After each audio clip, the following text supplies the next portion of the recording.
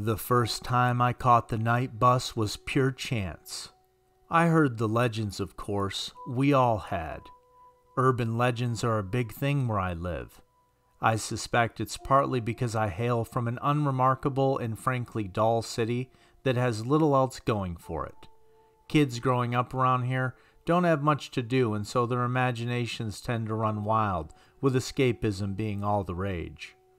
My friends and I were obsessed with urban legends during our formative years, gobbling up all the tales whispered in the playgrounds and later posted by anonymous users on online forums. We found the legends both frightening and exhilarating, bringing excitement to our otherwise boring lives. It would be fair to say that I was quite naive back then. Some of my friends were more cynical, but I truly believed them all. The Vanishing Hitchhiker of Spencer Street, the Southside Troll Man, and the White Lady of Croft Manor were a few of my favorites.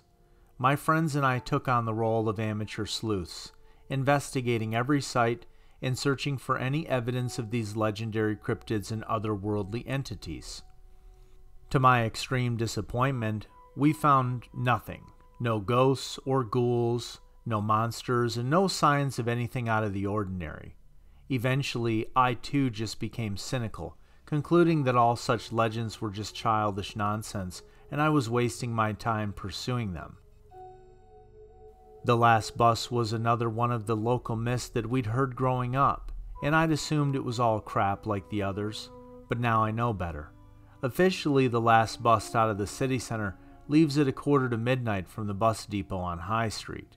That's the bus which sensible people catch if they want to get home safely after a night out on the town.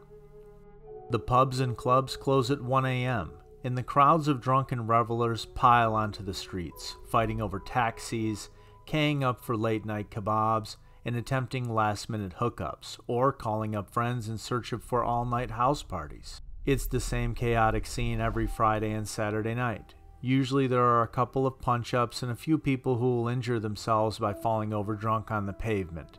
It's all depressingly predictable.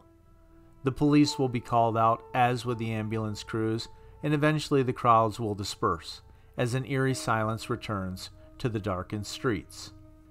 Then we enter the twilight hours when all sensible and law abiding citizens are at home, safely tucked in their beds. After hours, the streets are left to the vulnerable, like the homeless with nowhere to go, forced to seek shelter in shop door fronts, wrapping their cold bodies in old sleeping bags and praying that they make it through the night. And then there are the predators, the ones that your mother warned you about, the gang of thugs who patrol the streets. They're blood in and blood out as they search for a victim to violently attack, and then there's the predatory men who lurk in the shadows, watching for vulnerable women who they can prey upon. On a Monday morning, you'll read the stories in the local newspapers. The homeless man was beaten up to a pulp, the young girl sexually assaulted in a back alley. Police will open investigations and appeal for witnesses. Sometimes they'll catch the perpetrators, other times they won't. You'll have sympathy for the victims, but secretly feel relieved that it didn't happen to you or somebody you know. But in these cases, the culprits are human monsters, made of flesh and bone, and not the otherworldly fiends I tried to chase. During my cynical years, I believed these human predators were the worst thing out there, that they owned the twilight hours before the dawn. But I was wrong, and now I know the truth. There are far worse things that lurk in the shadows. The first time I caught the night bus came during a difficult time for me. I'd just turned 21 and had split up with my partner of two years. Looking back, I now see how the breakup was the best thing for both of us, but at the time I was devastated and angry. My friends had taken me for a night out on the town in the hope it would cheer me up. A nice idea, but unfortunately it didn't work out that way. I drank way too much, starting on the beers and moving on to shots of hard liquor. We went to a club where I made several embarrassing and unsuccessful attempts to hook up. As if that wasn't bad enough, I then started a fight with my best friend, throwing a punch at him before I got thrown out of the club by the doorman and foolishly decided to walk the streets alone in my drunken stupor. Somehow I managed to avoid getting beaten up or falling on my face and cracking my head open on the pavement. Instead, I managed to stagger to a bus shelter, not realizing in my inebriated state that the official bus service had finished for the night and there wouldn't be another one due until morning. I remember laying down to rest on the bench and I must have passed out because I woke up several hours later and saw the streets were empty. I was all alone, or so I thought. My heart almost jumped out of my chest when I saw the old bus driving down the street towards me, emitting black smoke from its exhaust pipe as it came, its noisy engine interrupting the previous quiet. The vehicle was partially illuminated by the streetlights, although I noted with some concern how the lamps flickered as the bus drove by them. The vehicle looked like a throwback from the 1960s, the kind of ancient tin can on wheels you'd expect to see at a classic car show. Unlike the modern vehicles we're used to, those that glide along the street quietly, this old rust bucket rattled along, noisily looking as if it could break down at any moment, but instead it kept coming. Driving down the empty road and coming ever closer to my shelter, I noted how there were no emblems or motifs painted on the side of the bus, and no destination came was shown above its front windscreen. The vehicle's exterior was painted all in black, and even the windows were tinted, meaning I could not see who or what was inside. I felt a cold chill run down my spine as I recalled the details I'd heard about the last bus legend, one of those I'd read, studied during my youth. The vehicle I was seeing before me matched the description of the coach in the stories, the phantom bus that appears on an abandoned street in the early hours, offering lifts to the weary and to the needy. I came close to a panic in that moment, wondering whether I was dreaming or suffering from a paranoid delusion. I'd spent so much time of my youth chasing these legends, searching for any evidence that could prove the existence of something outside of our own reality. But now that the truth was staring me in the face, a big part of me wanted to get up and run, but I didn't. I don't know whether I was frozen on the spot with fear or if my curiosity got the better of me, but I held my ground and waited for the bus to come. I stood up on my shaking feet as the coach pulled in beside my shelter, and despite the amount of alcohol I'd consumed, I suddenly felt quite sober. It seemed to take forever for the vehicle to park up and for the creaking old door to swing open. When it did, I was confronted by a friendly middle aged man wearing a neat blue uniform while he sat behind the wheel, driving his bus to an unspecified location. He smiled down at me, his eyes twinkling in an amicable and welcoming fashion. Then he opened his mouth and spoke in a soft, almost fatherly tone of voice, saying, Good evening, my friend. Are you coming on board? I'd heard about this enigmatic driver before, but nevertheless his appearance and whole demeanor took me a bit off guard. I struggled to find the words to respond, stuttering my way through my reply. Ah, uh, well, where are you taking me? I inquired nervously. Home, the driver responded with a reassuring smile. I'll take you home, eventually. But life isn't about the destination, it's about the journey. Sometimes you need to take a leap of faith. So, what do you say, my young friend? Will you take a ride tonight? I'll admit to being scared in that moment, terrified in fact. Somehow I realized how important this was, how the decision I made right then could shape the rest of my life. I didn't know what exactly would await me if I got on board, but I had a good idea, and it was quite terrifying. But if I walked away, and I would never discover the truth, I don't know if I could live with that. And so, I took a deep breath, plucked up my courage, and stepped onto the bus, seeing the driver smile as the door shut firmly behind me. When I saw the bus driver up close, I sensed something sinister about him and instantly started regretting my decision, but by then it was too late. That was the first time I rode the night bus. Over the years, I've been on it three times in total, living to tell my tale on each occasion. Catching the Phantom bus isn't as easy as you would imagine. There's no set of rules you can follow and no set time or location.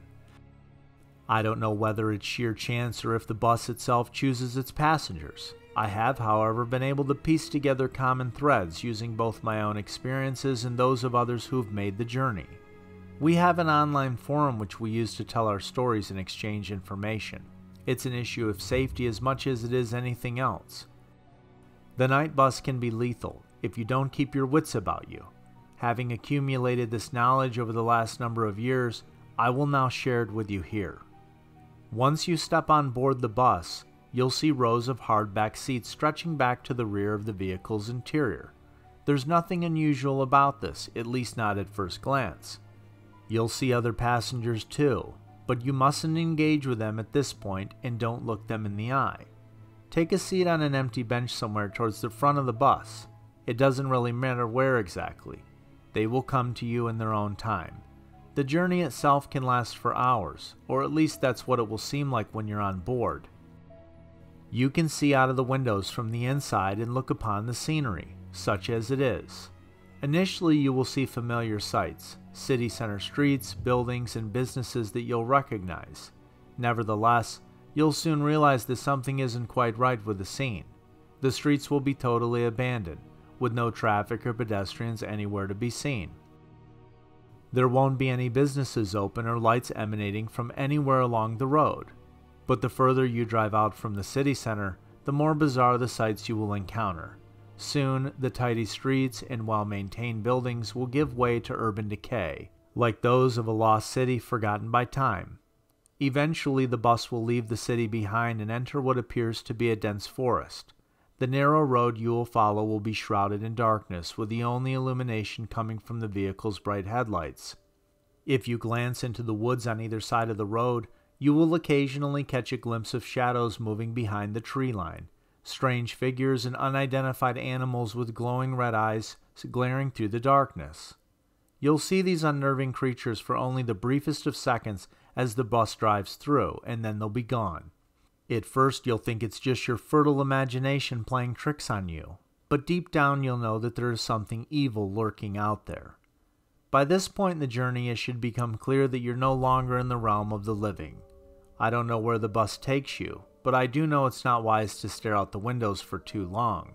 What lurks out there can drive you mad. And besides, your focus should be on those inside the bus, as they pose the more immediate threat. My fellow online sleuths and I think of the passengers as lost souls. It seems certain that they are no longer part of the world of the living. There's something lacking in them, an important piece that is missing. Once you talk to them, and they will engage with you, you'll see the sadness in their empty, dead eyes. They want to latch onto you because you have what they want life. That's why it's so important that you follow the rules. Don't let them get inside of your head, whatever you do. There are six entities you're likely to encounter once you set foot upon the bus, all of whom have their own unique traits and tricks which they'll attempt to use against you. Based on the shared experiences of our forum members, I have pieced together a description of each one of these otherworldly entities. Firstly, there's the driver, whose physical description I've already covered. The driver's first job is to get you on board, that's why he'll appear to be so friendly and welcoming, enticing you to take a ride on his bus. However, once the door shuts behind you and the bus starts moving, you'll see the driver's smile falter ever so slightly as he breaks eye contact and focuses on the road. Despite this, the driver is a benign figure who plays a small but important role in the events that follow. His job from this point onward is simply to drive, as he does keep his promise to you. He will bring you home eventually, assuming you don't fall foul of any of the spirits during the drive.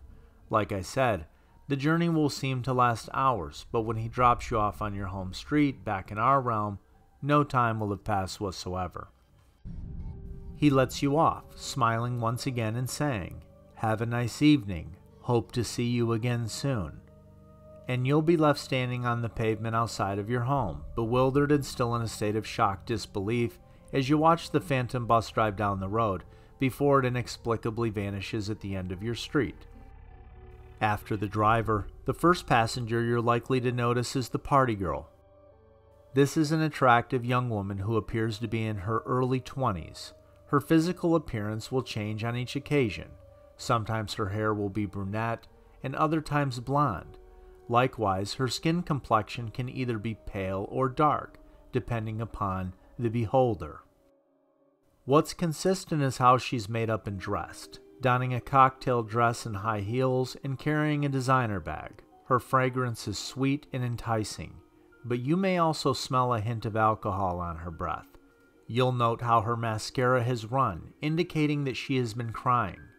Nevertheless, there's something in her deep and expressive eyes which will draw you in, an inner beauty and vulnerability that plays on your emotions. It's worth noting that you will be attracted to the young woman in spite of your gender or usual sexual preferences. You'll be unable to take your eyes off her and will feel compelled to take a seat close to her.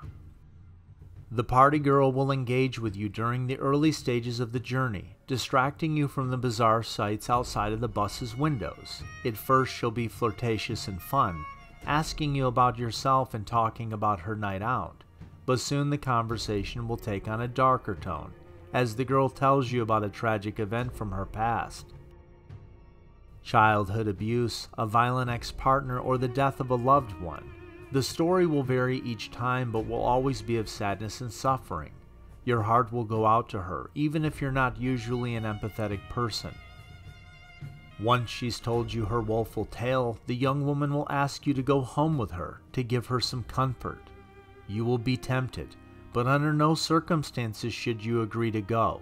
It's critical that you remember what she is and what she really wants from you. My advice is to politely decline her offer without causing her undue suffering.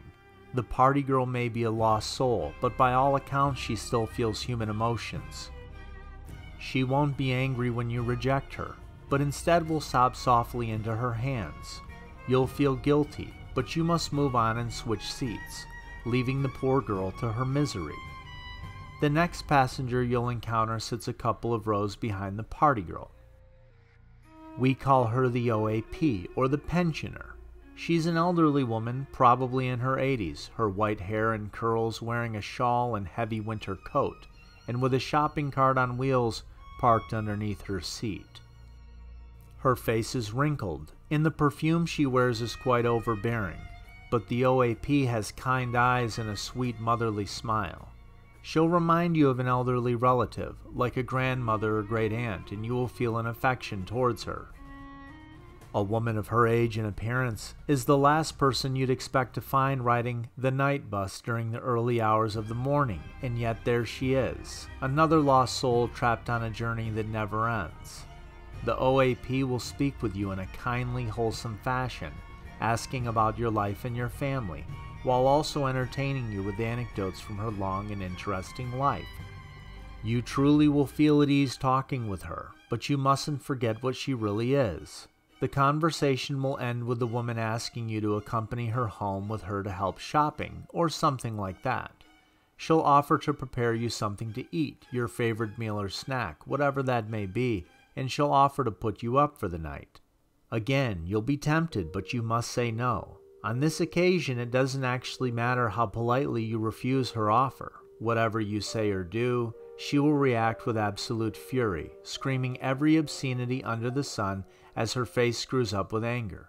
It's the last thing you would expect from a seemingly sweet old lady, but this is what will happen. As soon as she launches into her hateful tirade, you should leave your seat and move further down the bus, and you would be wise to not engage with her again for the rest of your journey. The next passenger you'll meet is a scruffy middle aged man known as the drunkard. He sits close to the back of the bus and is perhaps the type you would expect to find on a late night service. I wouldn't recommend sitting too close to him, if only because he smells pretty bad, his breath stinking of alcohol and cigarettes. You'll note how his old clothes are soiled and torn, and his unkempt beard will be badly matted. You probably won't wish to engage with him, but the drunkard will begin a conversation with you regardless, and against your better judgment, you'll get drawn in. The drunkard will turn out to be surprisingly intelligent and insightful, seeking to educate you on such matters as religion, philosophy, and scientific theory. He'll tell you a story in the form of a parable or fable, one with a dark twist to it. When I first met the drunk, he recounted to me the tale of the frog and the scorpion, one that demonstrates the cruel and destructive nature of life. Next, he'll remove a silver hip flask from his inside jacket pocket and offer you a drink. Regardless of your alcoholic preferences, you'll be tempted to take a sip. The drink will smell so sweet and inviting, but of course you must refuse him. After you turn down the drink, The drunkard will shoot you an angry look before shaking his head and saying, You're a darn fool, a stupid little child. This is your cue to move on. Now you'll notice how the first three passengers are trying to draw you in, using whatever charms or supernatural powers they have at their disposal. Their ultimate goal is to trick you into leaving the bus. Needless to say, you must not do this, not if you want to make it home. Nobody knows what exactly happens to those who fall into one of their traps. We do know that several members of our forum have vanished without a trace over the years, and my city has a long history of unexplained disappearances. The fourth passenger is different from the rest, however. He is a young male who sits on the back row whilst listening to headphones linked up with an 80s style Walkman. We call him Headphones Guy, and it seems all he does is listen to music, his eyes closed as he taps his foot to the beat. The headphones guy will not attempt to engage with you or even acknowledge your presence. That's not to say that he isn't dangerous, however. There was a member of our group who had a run in with the guy. To be fair, it was unprovoked. Feeling bold, my friend got right up in the passenger's face, waving his hands and clicking his fingers in an attempt to gain the spirit's attention. When this failed, he foolishly grabbed the guy's headphones, physically pulling them off his head. Predictably, Headphones Guy didn't react well to this violation. In an instant, he jumped up from his chair, lashing out with his fist, and knocked the assailant down with one punch. My friend remembers a sharp, intense pain in the back of his head before he blacked out. The next thing he remembers is waking up in his own bed the next morning with a broken nose and a nasty gash on the back of his head. He also found a note in his jean pocket, crudely written on the back of an old bus ticket in what looked like dried blood, and it read, Do that again, and I'll rip your head off. Unsurprisingly, my friend never rode the night bus again. I don't know what the headphones guy's deal is, but my advice is to just leave him alone. So at this point, you're probably wondering why one would wish to catch the night bus at all, given how you'll be transported to a terrifyingly alternate reality and encounter otherworldly spirits who wish to trap you there. Well, the short answer is that no sane person would, bar a handful of crazed urban adventurers and amateur paranormal investigators such as myself. Most of those who've boarded the Phantom coach have done so by accident, not realizing what they were getting themselves into until it was too late, and most of those who ride the bus once have no intention to do so again. But those of us who do seek out the Phantom coach for a second, third, or in my case, a fourth occasion, well, we have our reasons. One reason above all others, in fact, we want to see the Harbinger and ask him our one permitted question. I'll regret my first ride on the bus for the rest of my days. Although I was drunk, I had enough wits about me to see off the various tricks used by the ghouls, but I wasn't prepared for him. The Harbinger is the only passenger who isn't already riding the bus when you first get on.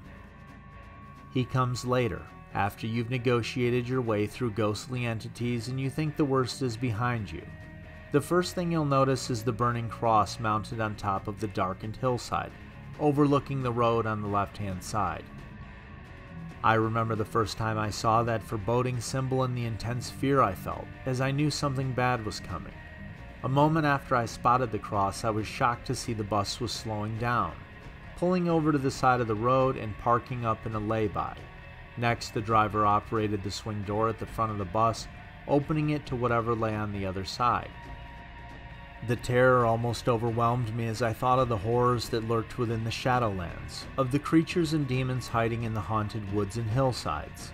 I recall looking to the other passengers, somehow hoping these devious spirits would offer me some protection from whatever was coming, but instead their heads were down as they all maintained a solemn silence. Realizing I was on my own, I glanced out the window to witness a sight which chilled me to my very bones there was a small, covered shelter by the roadside, almost covered by overgrown vegetation, and only just visible in the dim light. And within this seemingly abandoned bus shelter stood a tall, hooded figure, a sinister individual with his face covered and his considerable frame hidden underneath a long and dark robe.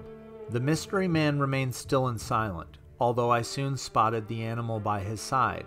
a large black dog that snarled aggressively through a snout filled with razor sharp teeth as it glared at me with hungry and predatory eyes, only a thin glass pane separating me from him. I imagined the hound breaking loose, ascending the steps and charging from the aisle, before burying its razor sharp fangs into my soft flesh. Thankfully, the dog's master retained control of his beast, although I was far from out of danger. I also noticed how hot and stifling his sudden became, as an almost unbearable wave of heat hit me. Meanwhile, the bus remained parked for what seemed like an eternity, its door ajar as the driver waited to see whether his passenger would get on. Now, I've since learned that the hooded figure we call the Harbinger will do one of two things at this point. Either he will remain rooted to the spot until eventually the driver will say something like, Well, not tonight then, before he closes the door and drives on. From what I've been able to gather from both my own experiences and those of my contemporaries, this is what happens most frequently. Two times out of three, the Harbinger won't step out from the bus shelter and that will be the end of it. But sometimes he will step forward, marching through the mud in his heavy boots while dragging his hellhound along on a leash, and he'll come on board the bus, prompting the driver to say, Good evening, sir. I trust you'll have a pleasant journey. The Harbinger will not answer, instead, gliding down the aisle with his faithful mutt following behind him. He'll take a seat near the front of the bus, pulling down his hood to reveal what lies underneath. To this day, I can't fully explain what I saw in that terrifying moment. It seemed like there was only a dark void where his face should be, with two burning orbs instead of eyes. He had no mouth that I could see, and so by rights, he shouldn't have been able to speak, and yet he did, calling out to me in a booming, godlike voice which echoed through the hollow interior of the bus. Come to me, mortal child, he ordered. Come sit with me, so we may speak. As you can imagine, I was utterly terrified in this moment, so much so that I thought I might pass out. But for reasons I can't explain, I obeyed his orders, feeling like I physically could not resist him and as if my legs were no longer under my control. I remember looking to the other passengers as I walked down the aisle, hoping that one of them could help me, but each of the four kept their heads down as they muttered in unison, reciting a prayer in a language that I did not understand. It became obvious that the Harbinger held power over these lost souls and they were all trapped under his spell. Perhaps they were once like us, falling victim to the Phantom Bus and the Harbinger's powers. In any event, they offered me no assistance in that fateful moment, and I soon realized I was completely at the Harbinger's mercy. I involuntarily took a seat in the row directly behind the Harbinger, his head turned in an unnatural way to face me, as his dog snarled aggressively in my direction, but thankfully resisted the urge to bite me in the leg. I can't really describe how the Harbinger smelled, other than to say he stank of death. The fiery orbs he had instead of eyes stared right at me, and I couldn't look away no matter how much I tried. I felt like I was on fire, my soul burning under his hateful glare. In my state of abject terror, I imagined what this monster might do to me. I reckoned he would kill me with ease, but this was the least of my fears. Instead, I believed I might become like the others, another anonymous lost soul, riding this bus for all eternity. In any event, I was powerless to do anything in that moment other than remain frozen to my seat, waiting for him to speak. Despite his absence of eyes, somehow I could tell he was looking down on me, that he considered me with total contempt, like I was something he'd stepped in. To this day, I don't know whether he was speaking out loud or if his booming voice was only in my head. Then he looked at me and said, I see another mere mortal has found its way into my realm.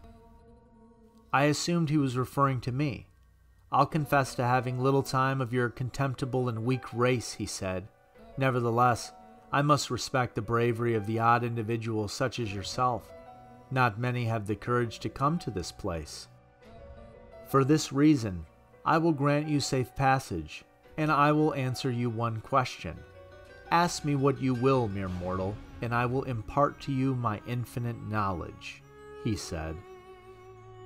Now, this is a moment I've replayed over and over in my mind over the years. I literally could have asked the Harbinger anything the winning lottery numbers, who killed JFK, the meaning of life. He sees and knows everything, and the possibilities of what I could have asked are limitless. One of the guys on our forum asked the Harbinger how he would die and was told that his vices would kill him within six months.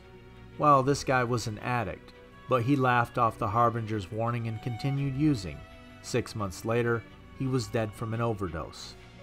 And then there was a young woman who, at the time of her encounter with the Harbinger, was stuck in an abusive and controlling relationship. She asked the entity what would happen if she stayed with him. She was told that her life would end unless she broke up with him. This proved to be the motivation that she needed to leave him, and about a year later, the guy was arrested for murdering another girl and ultimately sentenced to life in prison. But of course, I didn't know any of this at the time. I felt nothing but pure terror as I sat frozen to my seat, quaking in my boots as the Harbinger glared down upon me with disgust. In that chilling moment, I could only think of one question to ask, which I stuttered out from my trembling lips. What, what are you? I said. I swore I could hear the creature scoff with contempt before he gave his answer. My poor child, he bellowed. Alas, you humans will never fully comprehend what I am and what I represent. Nevertheless, I owe you an answer, and so I shall explain in the simplest terms. I am the past, the present, and the future. I see all from where I stand, and yet I have sworn not to intervene in the mortal realm. He paused momentarily, turning his burning orbs towards the darkened landscape outside the window. This world you see before me is my kingdom my domain, my home.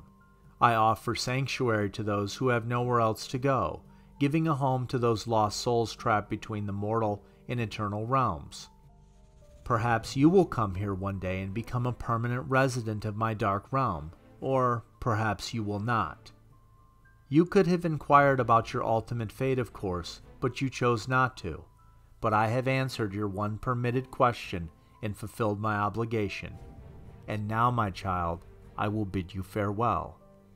With that, he rose from his chair and summoned his hound, gliding down the aisle as he made for the exit. I was flabbergasted and in a state of shock. I still had so many questions to ask, and I opened my mouth without thinking. Wait, I called after him, instantly regretting my decision to speak. The Harbinger turned sharply, his orb like eyes burning over fiercer, his hound growling as it bared its sharp teeth, pulling on its leash as it tried to get at me. When the Harbinger spoke again, his tone became angry and threatening. Heed my warning, fool. I have tolerated your presence in my realm thus far, but do not test my patience. I can inflict pain upon you, which goes beyond your worst nightmares, and I will not hesitate to do so if you break my rules again. I felt all the blood drain from my face, and my whole body shook uncontrollably as sheer terror overcame me. Needless to say, I did not utter another word. Instead, I watched on in shock and awe as the Harbinger glided down the aisle, dragging his snarling hellhound with him. The driver brought the bus to a slow halt to allow the creature to disembark. I began to feel pangs of relief as I thought my ordeal was nearly over, but there was one last twist to this macabre episode. As the Harbinger stepped off the coach, my fellow passengers suddenly shot up from their seats, all simultaneously turning in my direction. To my horror, I saw how their eyes had turned jet black, and their mouths were open wide, revealing gaping black holes. It seemed like they were all trying to scream, and yet no sound was emitted and then I saw what was lurking in the darkened woods on either side of the road. Hundreds of fiery red eyes emerging from the tree line, belonging to unholy beasts that howled like wolves in the night, everyone focused upon our bus. I screamed out in terror, fearing that the Harbinger had changed his mind and was summoning his hellish minions to tear me to pieces. The howling rapidly increased in volume, becoming so loud that I was near deafened. What happened next remains something of a blur in my memory. I recall the horrific din, and the pressure built up inside my head until I thought my skull would explode. Suddenly, there was a blinding flash of light, forcing me to hide my eyes beneath my hands. A moment later, I opened my eyes again, only to discover that the beast had vanished, as had my ghoulish passengers. I was on my own side of the bus, just me and the driver, as we continued down that lonely stretch of road. I have very little recollection of the rest of that journey. I don't think it was much longer before we left the dark realm and returned to the city streets I knew and recognized. When we arrived on my home street, I could not believe it, thinking this was another trick. I sat still in my seat for some time until eventually I needed to be prompted by the driver, who called me out saying, Your stop, my friend. Come on now, please, I can't wait here all night. With some trepidation, I walked down the aisle and stepped off the bus, feeling the cool, fresh air against my skin as I returned to the realm of the living. I recall the driver wishing me good night and saying he would see me again before he drove away. So that's my story, but it's not quite the end of it. You may well ask why I didn't abandon my obsession with the phantom bus after my terrifying encounter. Well, for a long time I did, but in the end, my curiosity got the better of me. I don't like the uncertainty of life, of not knowing what lays before me.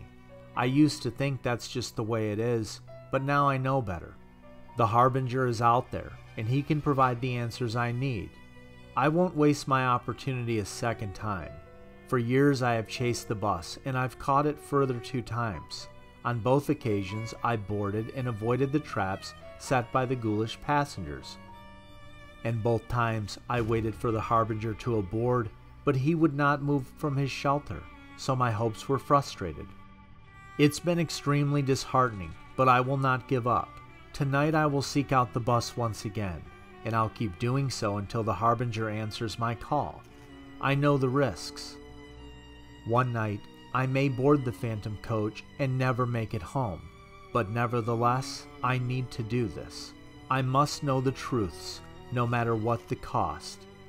Now, if you'll excuse me, I see my bus coming.